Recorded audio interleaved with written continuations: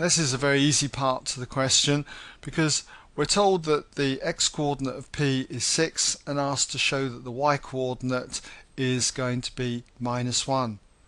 Well, we know that p lies on the line L. We've got the equation of line L.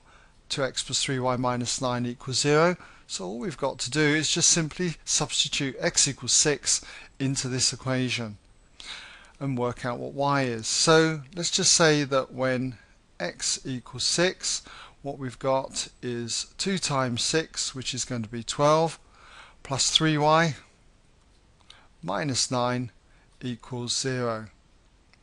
12 minus 9 is 3, so you've got 3y plus 3 equals 0. Subtract 3 from both sides, you've got 3y equals minus 3, and divide both sides by 3, and you end up with y equals minus 1.